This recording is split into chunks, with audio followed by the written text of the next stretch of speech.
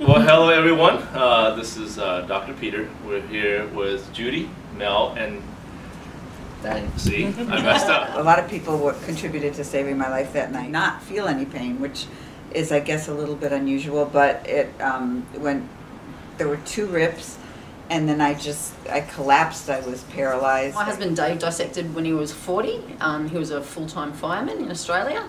He was at home one day just digging in the backyard Mhm. and, um, and thought he was having a heart attack.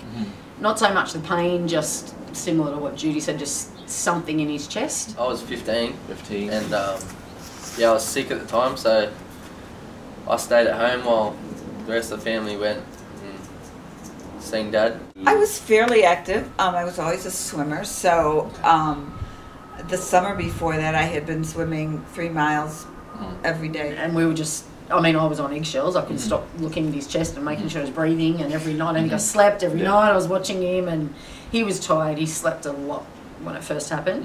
Mhm. You know, I think Dane was probably the only one that said, "Is he going to die?" And I said, "Well, you know, he might." Uh, I want to give a plug out to John Ritter Research Foundation because of the late John Ritter and what happened to him. Um, there is a foundation and a research facility in Texas that dedicates their time to doing the genetic research and, and what causes uh, and what type of genetic mutation cause, can cause or lead to uh, aortic dissection. So that's something, if you're interested, you can look it up for um, John Ritter Research Foundation. It must have been hard for you to tell Dane that he may or may not make it. Yeah, yeah, really have.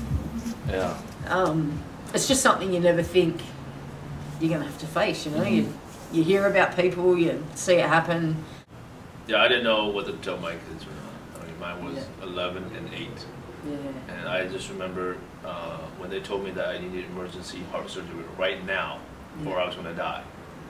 Uh, I talked to my kids and uh, I just said to Matthew, take care of your sister and.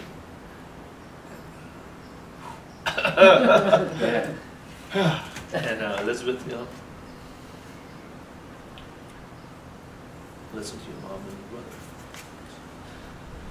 your brother. okay, so